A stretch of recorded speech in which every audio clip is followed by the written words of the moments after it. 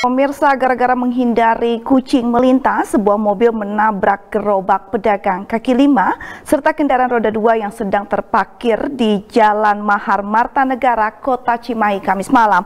Akibat kejadian tersebut, dua orang mengalami luka berat dan langsung dilarikan ke rumah sakit terdekat.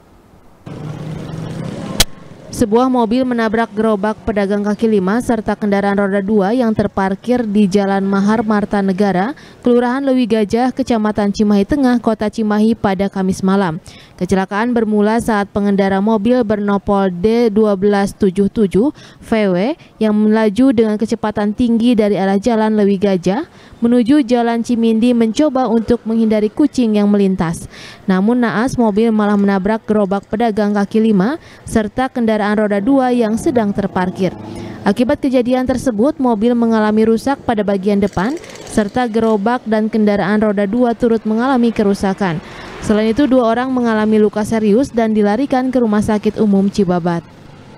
Tadi kondisi kendaraan roda empatnya eh, mengendarainya kencang atau agak kencang juga sih agak kencang itu nabrak apa aja sih kan? pertama gerobak keduanya ada motor di pinggir gerobak itu kan yang lagi beli yang posisinya juga lagi apa lagi melayani konsumen gitu. Oh.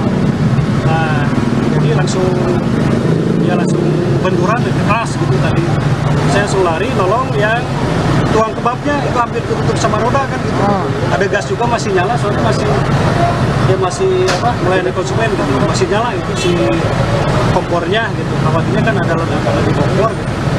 Dia langsung lari di korban kepinggiran yang paling parah itu yang di pinggir gerobak kebab itu. Yang pakai motor itu yang pakai motor itu. pula dari kendaraan eh, tahap Avanza ya. Dari arah Ciwi Gajah menuju Cimahi disebabkan dia hilang kendali oleh eh, menabrak gerobak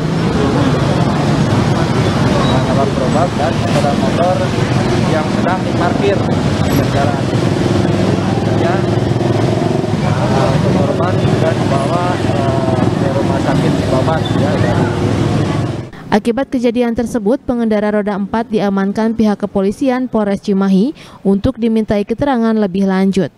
Algi Muhammad Gifari, Bandung TV.